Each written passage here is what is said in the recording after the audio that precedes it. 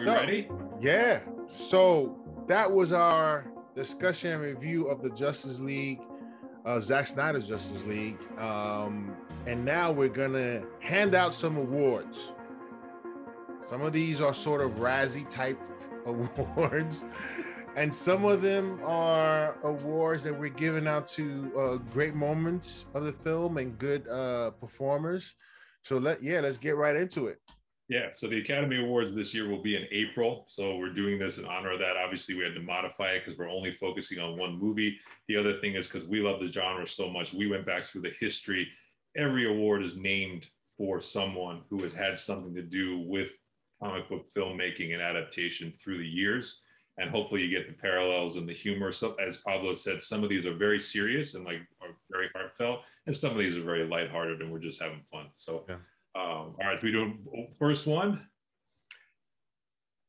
So the first award that's going to be handed out tonight is the Scarlett Johansson Award for Best Scene Stealer in a Supporting Role. Now, why is the award named after Scar- Scarlett Johansson? Um, because you made this point, and it's a great point. Because in every scene that Scarlett Johansson, especially in action sequences, she's she she has the best action sequence. She's she's like the best in terms of her abilities and and what she does in that scene. Uh, is that what you were leaning towards? Yeah, absolutely. Yeah, she, yeah. She's so, in every movie she's in, she is given something that is cooler than everyone else. Yes, yes, yes. So the nominees for this award is uh, Connie Nielsen, uh, Joe Morton, uh, Jeremy Irons, and Junkie XL. All right, so this is actually one I think one of our most competitive categories. So I'm going to break this down a little bit, and Pablo has the winner, and he'll he'll defend the winner. So Connie Nielsen plays Hippolyta, Queen of the Amazons. I have no idea why Connie Nielsen's career wasn't bigger than it was, given she obviously in Gladiator gained acclaim 20 years ago, and she rocks this part. And I think with the Battle of the Amazons, she comes off as both very regal, very kind of caring of the other Amazons, very athletic and badass in the action that yeah. she does. I was glued to the screen every time she was on it. And I got to the end of it and said, again, if they do the Amazon series, she better be headlining it because there's no one else that can play that part. I was, yeah. I thought she got one of the bigger upgrades from the theatrical version to this version. So that's why she's on the list. Uh, Joe Morton plays Silas Stone, Victor Stone's father. We got a much more fully developed version of that character, start to finish. And Joe Morton is never bad. He is yeah. he has been around for decades. He has yeah. never put a foot wrong in a role. And he didn't hear, so it was really nice to see him get a full load. Jeremy Irons is Alfred. I talked about a little bit earlier. It's just nice to see Alfred doing things. I like the idea of him as like the tech guru a little bit building some you know equipment and helping bruce kind of emotionally but also tactically yeah. We saw that a little bit in BvS. I liked seeing that here. So nice to see him get more of a part. Junkie XL, I don't think he'll win, but I had to put him somewhere on the list. So Tom Holkenborg is his real name, is his stage name. He wrote the music for this. And I thought the music was one of the bigger upgrades from theater to this. I thought he came up with a really heroic Justice League theme, which they leaned on. I liked the beats of the music, but his choices. And he even said that whatever his original score was for this movie, he scrapped it entirely. So huh. what you heard in this was a completely new rendition of the music, and I thought he nailed it. I, I really like this style of it, and uh, I think there's some pretty re-listenable stuff in here. So you know, he's not an actor, but I thought he contributed it, you know, to a lot of the scenes in a way. So those are our four nominees, one of our tightest categories. So Pablo, take it away. Who's in the envelope?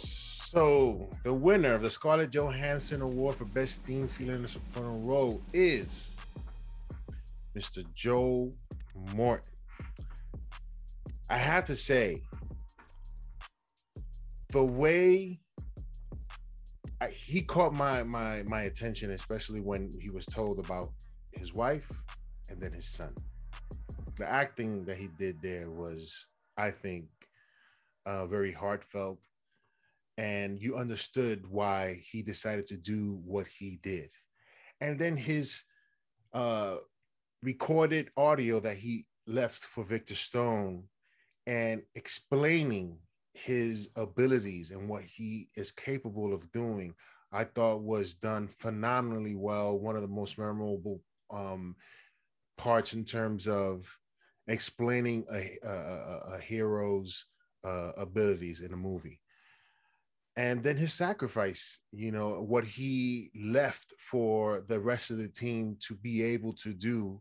And he sacrificed himself so that he can, you know, help them in a way that you know obviously he doesn't have the the physical or or or talent of everyone else and but this was his last uh i guess uh show of support or assistance towards um helping them out so for me uh for for us we decided you know like joe morton des- deserves this honor of receiving that award the, the academy awards usually opens with best supporting actor so joe morton takes home Snyder Cut Oscar number one. All right, number two is the Christopher Reeve and Lynda Carter Award, and this goes to the character, the, the the performance that is the best embodiment of the spirit of the comic book character.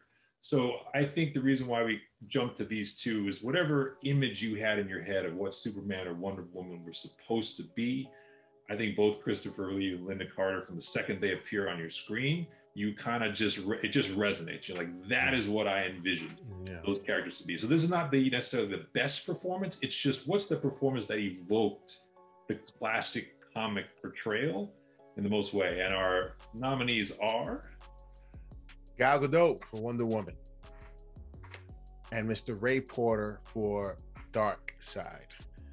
Listen, Gal Gadot again that opening sequence of her doing her thing and she you know wonder woman in the comics she's fierce she's a warrior she's a fighter and it definitely showed her throughout um, this film especially in that opening sequence uh Darkseid it's like when you look at that film and you see Darkseid you're like that's Darkseid especially with the visions that you see uh with omega Beams from from uh, Ray Fisher, Cyborg, when he when he's plugged into the the Superman ship. One thing that was dope to me with Darkseid is when he put his hand on Superman's shoulder. Yeah. That was like it wasn't Darkseid doesn't aim to always fight. He, he aims to use you in the best way he can possibly can. And if you if you don't want to do it, then okay, I gotta go head to head with you. So that scene for me was dope. So, and that's something I think Darkseid would do. So the award goes to Brian. It goes to Darkseid. I yeah. I think I Zack Snyder has a penchant for, as we've talked about, having a lot of ideas, changes to characters, pushes the envelope. I think it was significant and not a coincidence that he did not mess with Darkseid's appearance. He did not mess with his voice. He did not mess with his motivations and what he's looking for. This really was, and his presence in a teased form. This was Darkseid, straight yeah. out of the comics, and yeah. the stuff he does physically, even if it's only imagined, really looks like Darkseid. Yeah. I was incredibly impressed. It it definitely made me feel kind of sad that we won't get to see more of that character at least, because I think people always, you know, he was invented before Thanos, but obviously we saw Thanos on screen. Like, I think this character would have been different enough that it would have been just as interesting. And I think he had he hit he had hit on the interpretation. Now I do have to say it's funny that with Gal Gadot, you go back to when she was cast, there was outcry, there was doubt. Is she strong enough? Is she big enough? And I think it says a lot that five, six years later, here we are saying I mean, Gal is everything that you would think Wonder Woman should be, you know, both physically, but also in the moments where she's telling a little girl, you know, you can do what you want, and she's inspiring Victor Stone to join the team. So, know, this again was a very tough choice, but I just couldn't get over how much Darkseid really looked yeah. and sounded like I imagined Darkseid to be. So, yeah. Porter as Darkseid gets the Christopher Reeve and Lynda Carter Award for Best Embodiment of Spirit of the comic book character. All right, Snyder Cut Oscar number three is this award was was kind of funny. Um because I spent my time looking at him like, okay, well, okay, let me let me hear this. Um this is the Elizabeth Olsen Award for didn't that character have an accent? So, uh, which is of course a nod to Wanda Maximoff. Also, has an, has an accent. Oh, go ahead. Also, um, cause you, I don't, I, I don't know how people miss this. Um, Princess Leia. Yeah, good call. so, yeah, good call. so this goes out to that uh, uh, uh, those two of the um, um, performances where Elizabeth Olsen's got to the point where they even made fun of it in a meta way in WandaVision. They're like, "What happened to your accent?" So exactly. had an accent, didn't have an accent, had an accent, didn't have an accent. So that's where this award came from. And there's only one nominee for this. Yeah, Amber Heard. Amber. This award goes to Amber Heard. One moment she has it, and then the, the next moment you're like trying to see. You're almost like, where did the accent go? So it goes to Amber Heard. Even though it, I don't, I don't. Do it was think... crazy because now that we've seen Aquaman, where James Wan gives her bright red hair, she's got her American accent. She's kind of like an almost like an '80s punk like rocker a little bit in that movie. yeah, yeah. And then in this movie, she's trying to really hard to sound like British royalty. Yeah, yeah. It was jarring to me, jarring to where I was like, "What? This makes no sense." Yeah, and yeah. it was really weird. And I gotta say, I think James Wan did it better. I, I'm glad that they went with that because this did not sound yeah right or great, yeah. especially when Willem Dafoe was he was using his Willem Dafoe voice. He was yeah. American accent. Yeah. I didn't get it. it. it. It threw me for a loop to where like I, I went back and watched it again. I'm like, did I just hear that correctly? oh wait, no. so Amber Heard, that Elizabeth Olsen award, didn't that character have an accent? Yeah, so Amber Heard gets that uh, nod for this uh, award. The next award, uh, Brian. It's the Michael Keaton Award for Most Memorable Line. And this is in reference, of course, to 1989, Tim Burton's introduction to Batman in the very first scene where he apprehends the thugs and he says, Yeah. that line has stuck, I think, with a lot Forever. of people for years. It was included in Christian Bale's interpretation. It was par- it's been parodied a lot. That's yes. the other reason I think it's most memorable. It pops up everywhere in comedies. Like if you ever seen Neighbors, they actually have an exchange about it. It's on SNL. It pops up everywhere. So yeah. that's why we came up with the award for Michael Keaton. Also, we didn't feel like this made we had to get Michael Keaton in somewhere because he's been one of the legendary contributors to the genre. So we went with this. And this movie wasn't really a one-liners movie, Pablo. So this was a little bit tough. But I know we have a couple of uh, nominees, and I'll, I'll, I'll let you read them off and and and let let people know who the winner is because I think you you made the point, and, and I'll let you let you kind of close it oh, on this one. Okay, so the three nominees um, was uh, Victor Stone's "F the World." Um, who said not impressed? Superman when he shows up and takes the axe on the shoulder and is like not impressed. To Steppenwolf. Really, I, I, I forgot that. Um, and then it's in the epilogue uh, scene uh, where Batman says, "When I kill you, and I will effing kill you." Uh, those are the three nominees um, for most memorable line, um, and we spoke about it. And the award goes to, and this is again, this is not a, a good award. This is this is just the most memorable line, and it is Batman's in the epilogue saying, "When I kill you, I will effing kill you." That goes to that uh, line in the in the movie. The reason why we chose this chose this is because for me, Batman doesn't talk like that, and I remember it because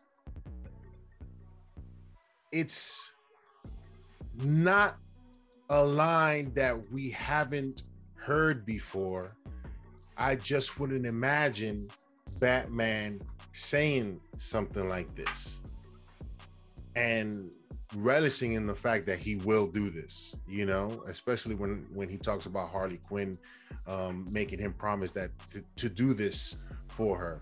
So that that line sort of threw me off guard um, and yeah that's why this is one of the most memorable um, this is the most memorable line of that film. Your your thoughts interestingly, the the other candidate for this didn't make the final cut, and it probably was the Joker saying, "We live in a society."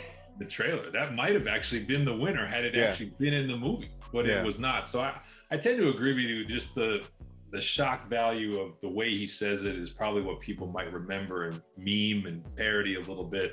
But it's interesting for you know in 300 that was a one-liner heaven. There was a lot of good lines in that movie, and this one really didn't play that up. There really Yeah. weren't a ton of you know big one-liners, so there weren't a lot of choices. But I tend to agree with you. That's what people might remember the most most from this. So Michael Keaton award for most memorable line to uh, to Ben Affleck for "When I Kill You and I Will Kill You." The next award, the Jennifer Lawrence Award for Cut Me My Check.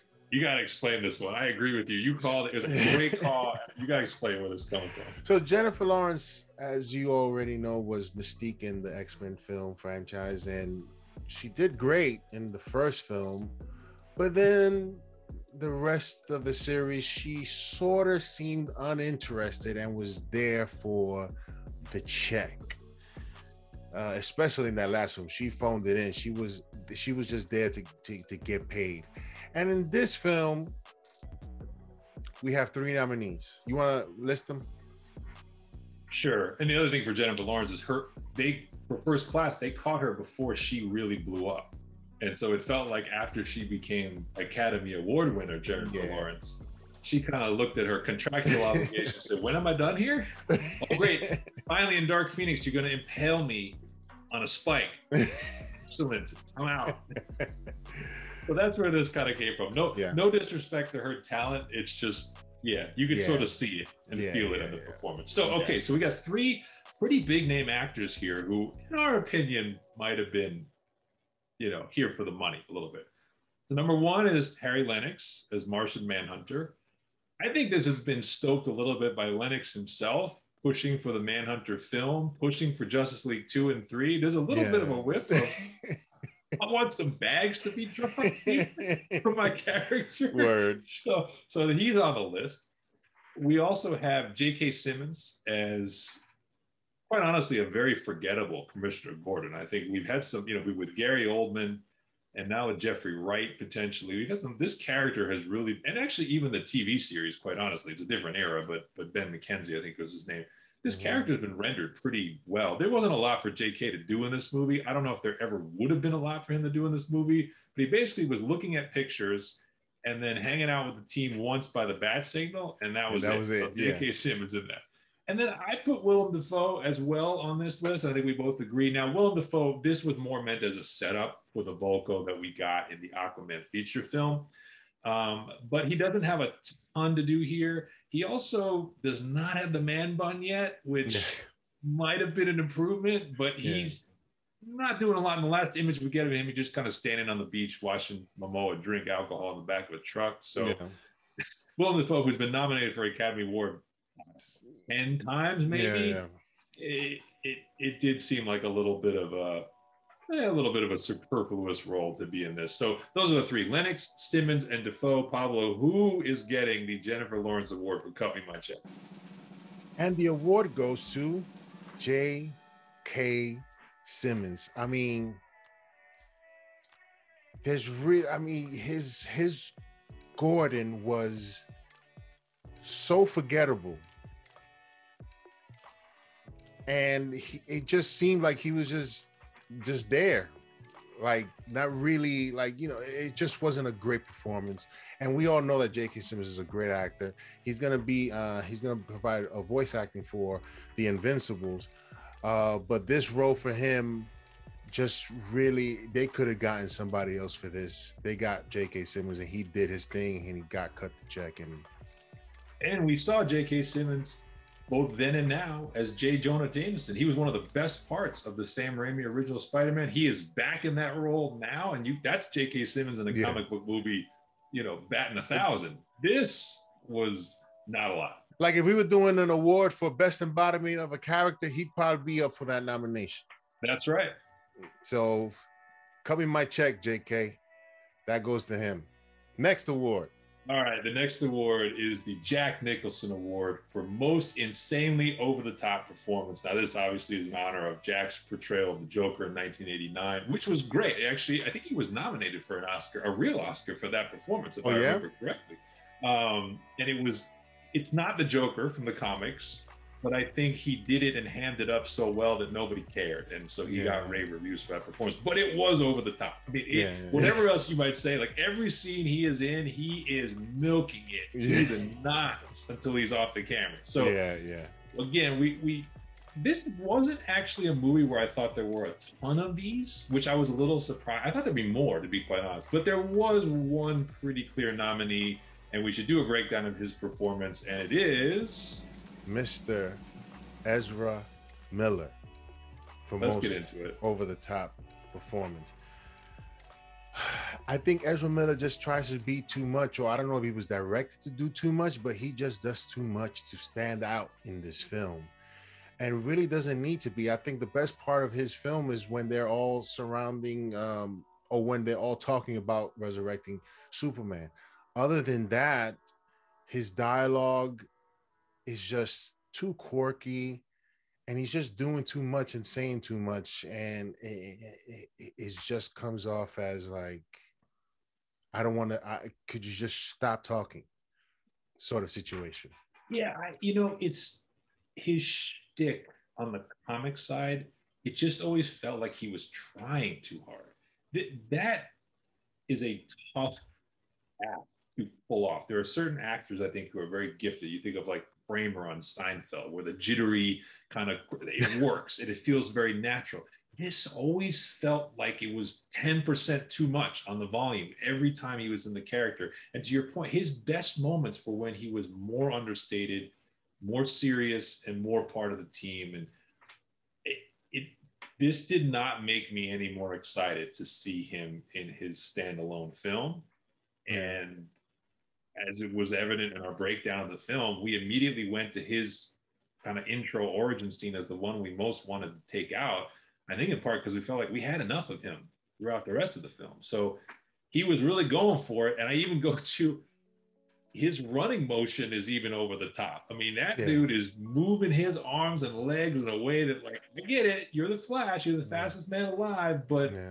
even that felt like I'm going to exaggerate every gesture to sell this to you. And when he's in the Speed Force at the end, I can't hold this much longer. he, it was it was yeah. that's a line that's been used a thousand times. He yeah. was really, really putting yeah. it out there. So yeah, I think one of the be- one of the best scenes for him is when he arrives at the back Batcave for the first time. He's like, "Wow," you know, and he starts running around. That's so. That's you know, that's that's something Barry Allen would do. Yeah. Right. So that was okay, but everything else was just just not the. It's too much. Yeah, it was just too much. Going for it too much. That's all. Yeah. Uh, the next award. You knew he was gonna. So when you say the name, because of the, what happened between this person and Zack Snyder leading up to this film, we had to have an award about this. So go ahead. So this is the Richard Donner Award for Wait. Wasn't that my scene? And there's only one scene, obviously, that we can talk about. Now, Richard Donner, first Superman 90 film. years old Richard Donner. So there's a scene in Superman where I guess pretty much all of us would agree that's a little bit ridiculous, right? And this when this is when um, the nuke, uh, um, you know, detonates in the, the the San Andreas fault, and Superman does everything he can to save as many people as he can, as Superman usually does. Yeah. And Lois perishes, right? you get that brief moment of silence, get that scream, and then Superman goes off and flies around the earth.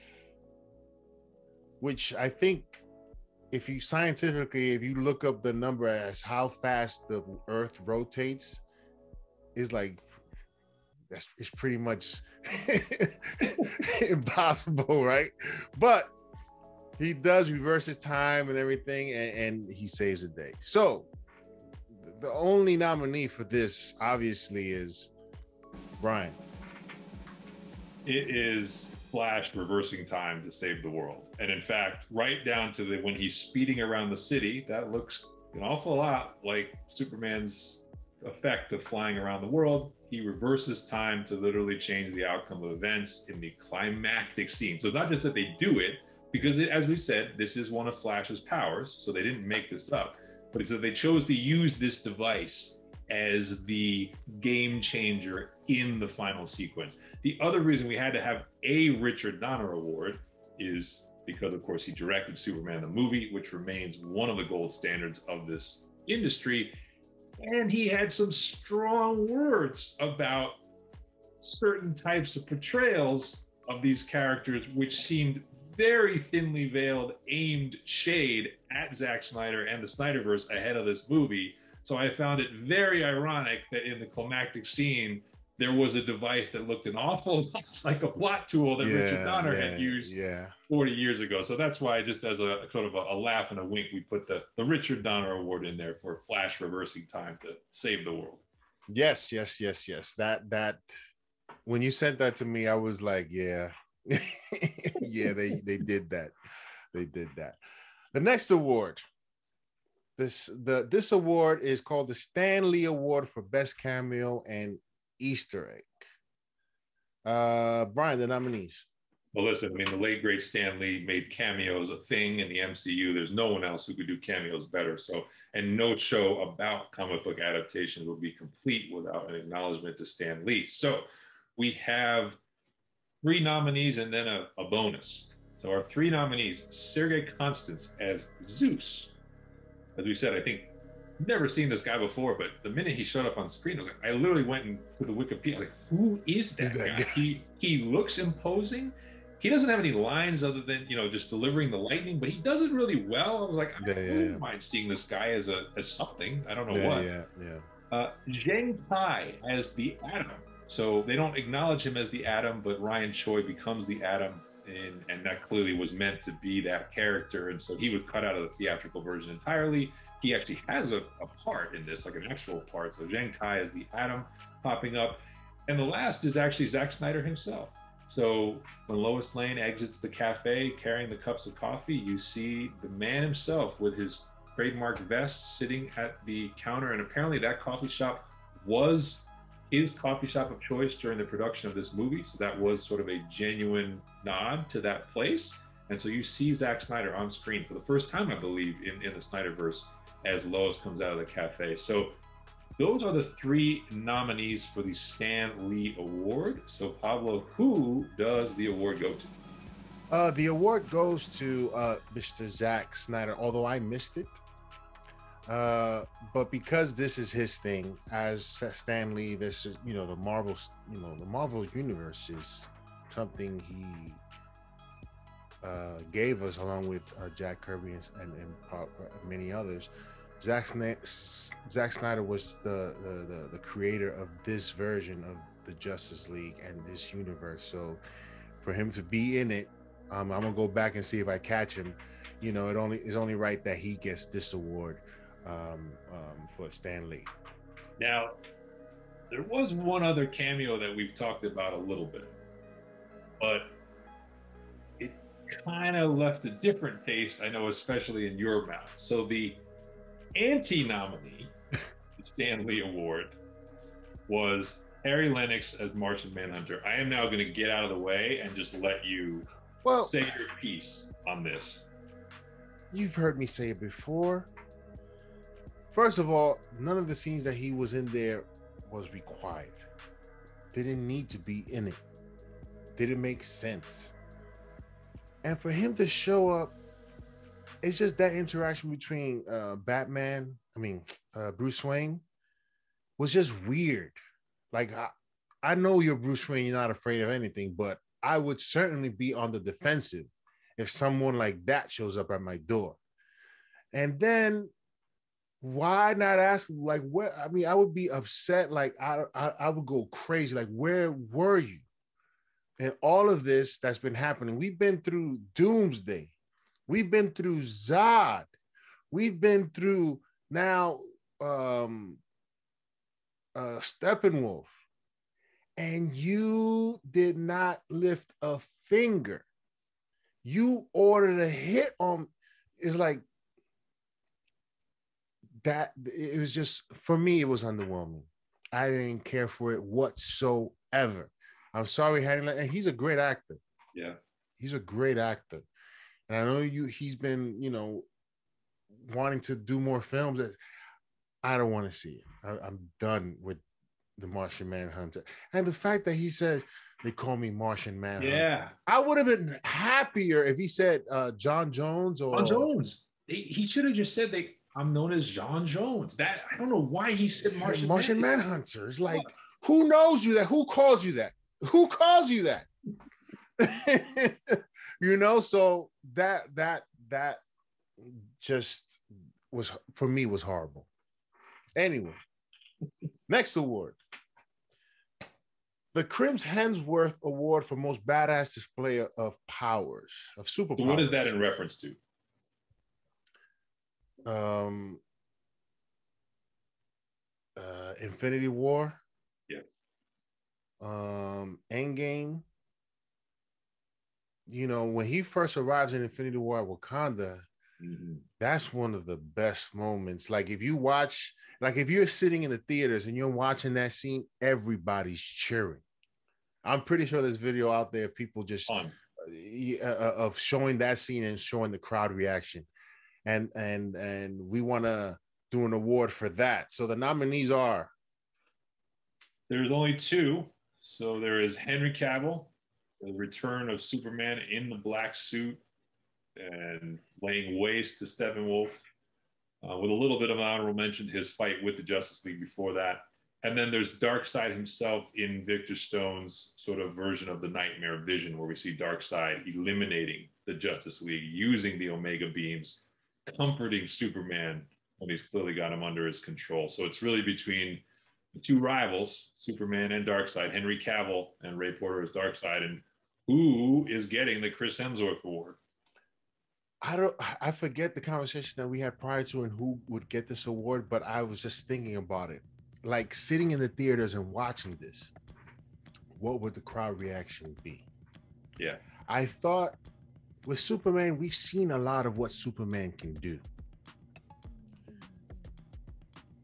You would certainly get a crowd reaction of him arriving at the battle. But to see Darkseid use the Omega beams, I think you would have gotten a reaction. The award goes to Darkseid just for his presence and and just seeing him do and do those things and, and, and putting his hand on, on on Superman's show, that's what Darkseid would do. And but that Omega beams, seeing that thing just come off of it, like that was I was like, oh snap. If I was sitting in the theaters, I would have a reaction. I think most people would. So he gets the award for dark uh, for uh, most badass display of superpower. He does, but I will say I will be forever. One thing I will be forever grateful for to Zach's work with Superman is that he does know how to put Superman's power on screen. I I do love seeing it, and this this combo in a relatively short span of time was one of my favorites because we finally saw him use sort of his breath to break the axe.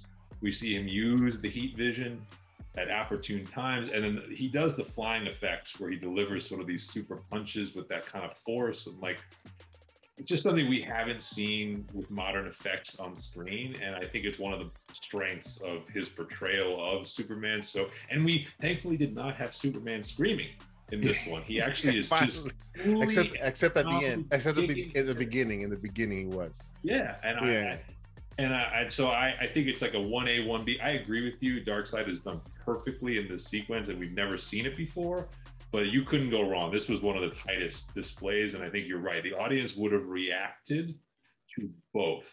Uh, yeah. I think you would have gotten some cheers from both had this been in the theater. So Chris Hemsworth, most badass display of superpowers, Darkseid gets that one as well. All right, the next award is a little, bit of a wink and a nod. The Paul Bettany Award. Now we've talked about this. Why a Paul Bettany Award? Because Vision can't stop dying. and he always seems to die with the world on the line in some ways. He did it twice in Infinity War alone. So we wanted to bring in a little bit of sci-fi fun here. So how many times can I die to prevent the, the end of the world? The Paul Bettany Award. There's only one nominee for this, and it is Mr. Joe Morton. As you recall, in Terminator 2. Yep. he does the same thing. this is the same guy, basically. yeah, pretty much.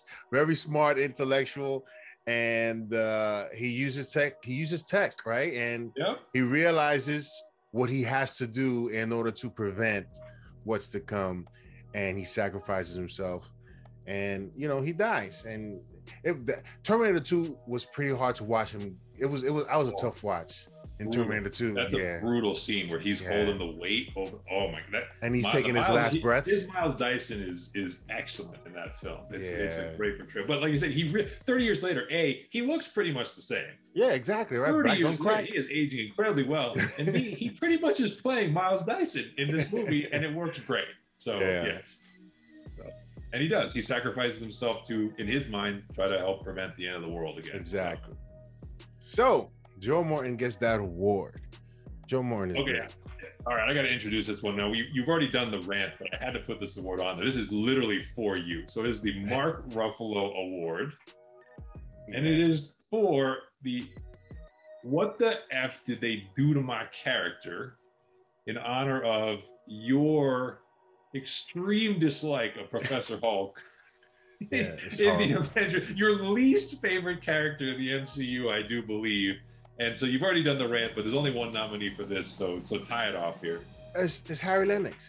Yeah. It's like again, where the hell were you, man? it it's just like I if I get into a conversation where somebody tells me that he was one of the best parts, I'm gonna be like, yo, explain that to me, man. Explain how Martian Manhunter, just because he was there, because he showed up, so what? He did not do a damn thing. I'm sorry. Martian Manhunter was the worst part of this film. One of the worst part of this film. So there it is. Mark yes. Ruffalo Award. Martian, Martian Manhunter is getting a lot of. Uh, I, I don't know, right? It's like attention in this. Yeah, he kind of is. Part. You got to put a pause button on that. okay, uh, this was gonna be a fun one. Um, yeah. This award, uh, the George Clooney Award for most cringe-worthy image or scene. The nominees. And this is in reference to George Clooney played Batman in Batman and Robin. He himself has been, had a great self-deprecating sense of humor about this role through the years and how forgettable it was, and the nipples on the suit and all this stuff that he will always own but it is something people remember as good an actor and as accomplished actors. It, it is part of that resume that people always do remember. And that's why we call it the thing that might stick with you, that cringeworthy image or scene. So the nominees are Flash's introduction to Diana, to Wonder Woman, uh, the first time they meet. And I will say, and I think you might agree, this was one of the scenes that I thought was a Joss Whedon scene that turned out to not be a Joss Whedon scene. It was actually in the movie. The second is actually related to this. It is Flash talking about Wonder Woman's love life in the graveyard, literally in Superman's grave, saying, "Does she like younger guys?" So that that just creeped me out. I thought it was weird. I, I don't know why it was in the script. It made no sense. That was on there. So those first two are basically related. The third, I have to cook on this a little bit. So yeah, yeah, I yeah. generally like the effects because Zack Snyder's great with visuals. The one thing that looked really fake and really hokey to me was when they, at the end, when Flash is reversing the reversing time, they zoom out and you see from a, a like a wide, almost panoramic shot of him moving in super slow mo, and it looks like an '80s video game to me. He's moving really fake. Like you can just totally tell it's a computer character. The reversal of time on the screen looks very off to me. It just was like, ah, like for a scene that otherwise I think was pretty tight with regard to the Speed Force. Yeah, I wish that could just stayed zoomed in. I, it just looked. I don't know what happened there. Whether it was just like they couldn't quite make the effects work because it was a pandemic, or they didn't have enough time, but yeah. it didn't look tight. That was loose to me. I, I didn't. I didn't care for that, and it kind of disrupted about a little bit of the flow of that scene. So that's nominee number three. Go ahead. What's your What's your point? I wanted to ask you.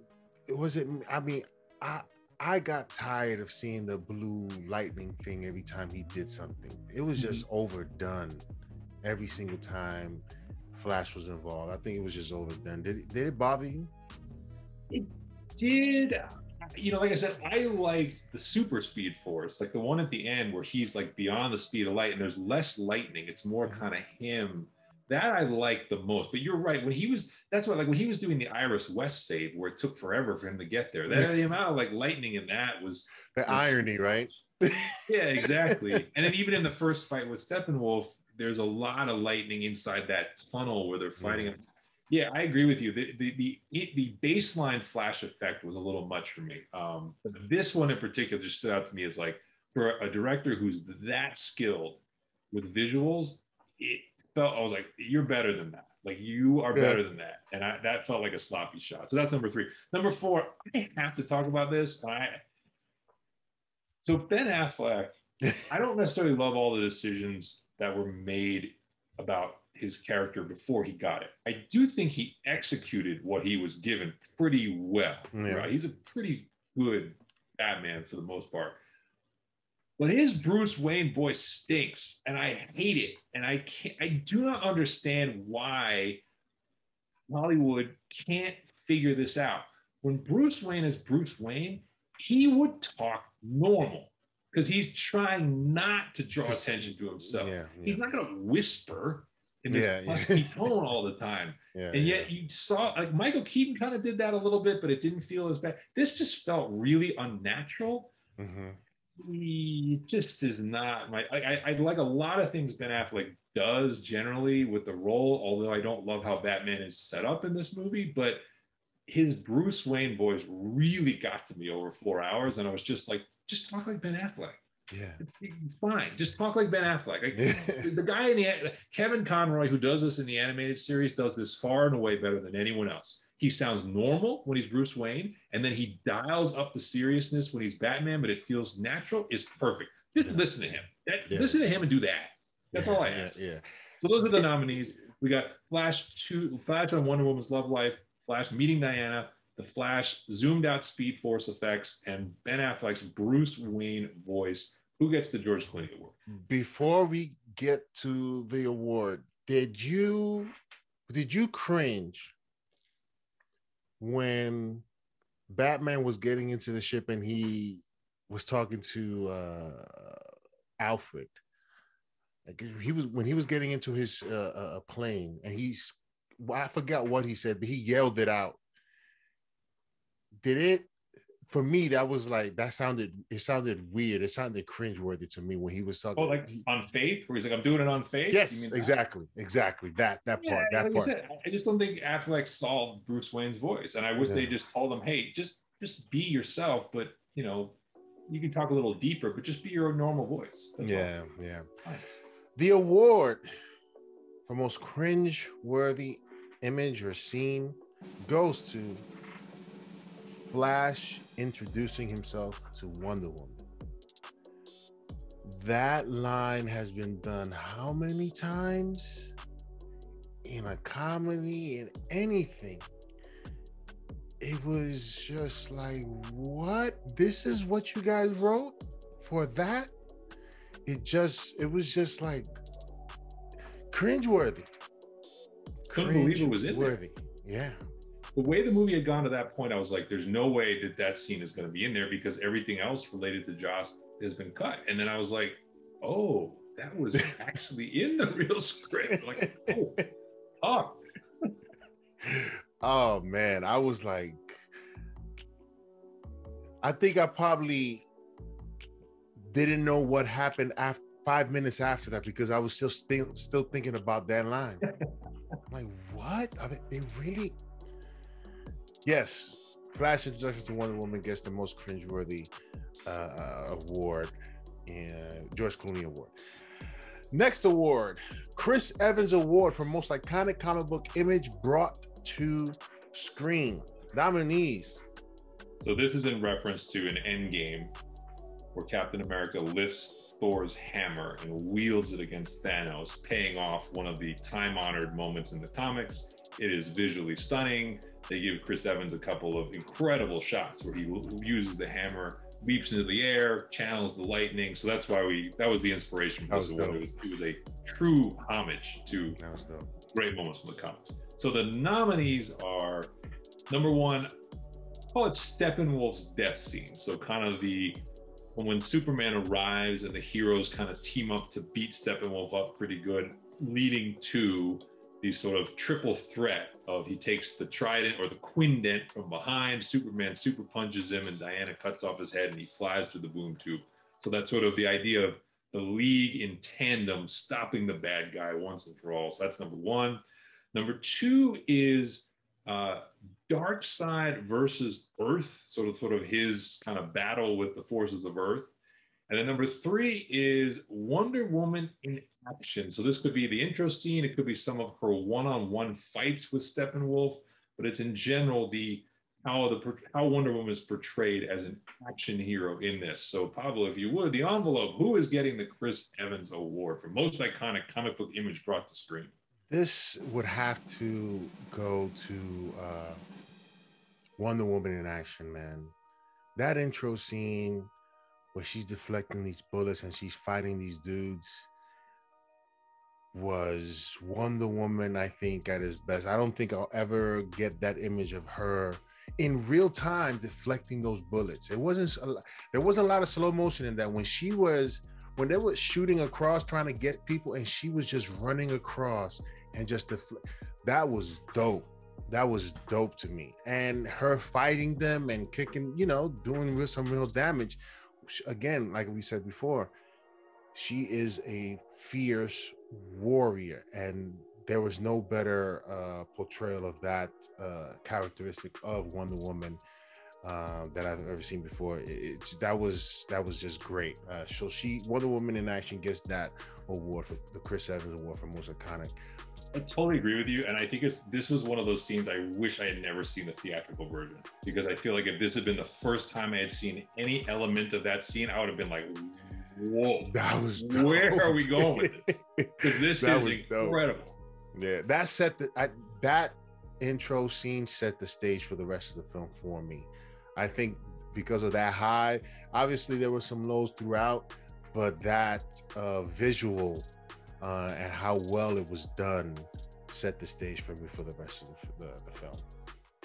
Next award two awards to go, and they're they're probably the two biggest ones. So the Academy, when they end the Oscars, they save kind of the the best actor, best actress for the yeah. end. They save best picture. So now we're into that phase. So our penultimate award is the Heath Ledger Award, and that is for most outstanding performance in a leading role. And that, of course, is in memory of Heath Ledger's unforgettable portrayal of the Joker in 2008's The Dark Knight, an award for which he did win the real Oscar. And that film and that role led to actual changes at the Academy Awards. They expanded the nominees for Best Picture because Dark Knight was not nominated, in large part because of Heath Ledger's work. So, the late Heath Ledger, most outstanding performance in a leading role. And you know, while there actually were some some pretty good efforts in this movie, there is only one real nominee for this. And Pablo, it's time we talk about who. Um, we've said this in the past that this was going to be one of the better performances in this film, and it certainly did not disappoint. The award goes to Mr. Ray Fisher. Say what you want about his outside activities. He was fantastic. I think every scene he was in was watchable you believed every emotion that he was going through. That scene when he's like sort of like limping towards his father and you see the tear drop, the, you know, that Ray Fisher did a fantastic job as uh, a cyborg man. There was no better portrayal of a superhero in this film um, in terms of performance, uh, acting performance, than Ray Fisher. There's no question. And this is a relatively new character, a relatively new character to the Justice League. He probably had the hardest job because people that would come into this movie wouldn't really know who Cyborg was in a lot of cases. And yet he was given a, a central backbone role to this movie. So he, if you didn't buy him, you weren't going to buy anything in this film. Yeah. And so from the minute he's on screen as Victor Stone to the moment, you know, kind of at the end where he's saving the world, he is given a really good arc and he runs with it. And when you get to the end where he kind of says like, I'm I'm not broken and I'm not alone, I was pretty invested. Like I yeah. felt pretty, that was a pretty cathartic moment where he's kind of is inside the mother boxes is stopping that. I cannot get over what happened to him in this film. I cannot get over how it could have been left on the cutting room floor like this. And I'm so, you know, of the reasons why it was great to see this film brought to life, this was probably 1A with anything related to Zack Snyder personally. This is probably 1A. And I hope whatever happened with Ray Fisher between the studio, I hope it does not preclude him from having a career because watching this made me feel like this guy this guy has real talent and it isn't just as cyborg. So Ray Fisher, well deserved, most outstanding performance in a leading role, no question. Uh, he took it, took the ball start to finish, and was fantastic as yeah. yeah, yeah. Our final award uh, is the Chadwick Boseman Award for Perseverance Through Adversity. There's only one nominee for and, this. And as a background for this, one of the amazing things that came out in the wake of Chadwick Boseman's passing was that he was battling the ailments all through making Black Panther, and nobody knew. Kevin Feige didn't know he was not healthy until basically right before he passed. Yeah. And so when you think about the physical demands of bringing a character like a Black Panther to life, and the acting demands, and the time, and the travel, and all it goes into making that happen, to keep that quiet with as serious an illness as he had and give us the performance we were left with, that's that was the inspirational text, I think, for for creating this award. And as you say, there really is only one nominee, and we mean it from the bottom of our hearts. It is Mr. Zack Snyder.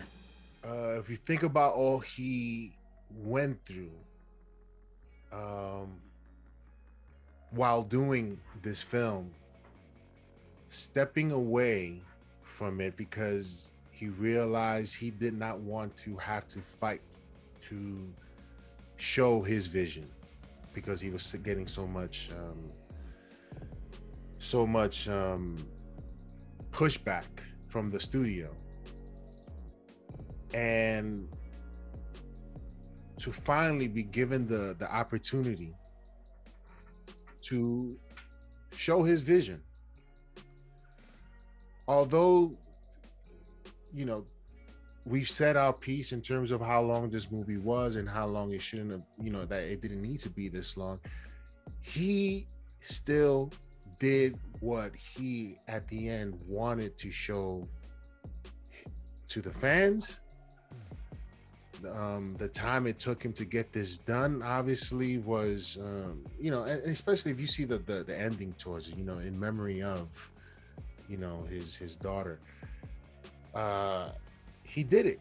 You know think about how many years this has been in the making you know? Um and to finally get the oppor- opportunity to do it and, and deliver it is you know this this definitely is what you call perseverance. To push through it all and and and and, and get what you want to get done done. So Zack Snyder gets this award. Yeah, and I'll say, I mean, you, you and I are both parents, and we both have girls as part of that. Never imagined what it would be like to lose a child, um, let alone lose one in, in the way that he did. And I think he would have been well within his rights never look at or touch this movie again because that happened while it was going on, and certainly with all of the flack that came along the way and came after, and the way this went down, and I would never have blamed him for saying I don't want to ever go back to this again. So the fact that he did and delivered, I think, about as good an output as we could have expected from the material that he had. It certainly was a coherent vision. Again, we don't have to agree with every choice in order to respect that this is a vision of the world that he played out. I hope it brought him, you know, a bit of catharsis and closure and completion to see this up on screen, to see it received the way it's being received. I really hope it, you know, for him and, and his wife, I hope it does bring some of that um, that healing that they were hoping for. Because obviously, as they sign off the movie, it's for Autumn, and the song Hallelujah apparently was one of her favorite songs. So, yeah, there, there is only one person who could could win this award. And so, as we said, what, whatever we liked or didn't like about this movie, I think we are both very appreciative that it exists in its completed form. And whether or not we want to see it continue. I think the fans overall, Snyder Snyder fans or not Snyder fans, we kind of won because we did get to see this finally, start to finish. So yeah. congratulations to Zack Snyder for for providing us with that. And uh, again, yeah, real heartfelt congratulations from little old us for the Chadwick Boseman Award for perseverance through adversity to complete Snyder cut. We did it, Pablo. Yes, we did it. We finally here. We got it done. Uh, thank you to all of you guys for sticking with us through this uh, hour and a half, two hour show. Um, hey, the movie because, was four hours. This, this is only yeah, this, this is half an hour in like real time. uh, thank you once again for joining us. Please remember to hit that like button, that subscribe button, um, that notification bell if you haven't done so already. Share it with your your friends. This really helps out um, the channel. If you, especially if you comment, let us know what you think in the comment section below about the Zack Snyder film, some of these um, these uh, Nerd Gen um, award winners. Um, and thank you for joining us. Next week, we'll be back with a, a full review of episode one and episode two, The Falcon and the Winter Soldier, which episode one was fantastic.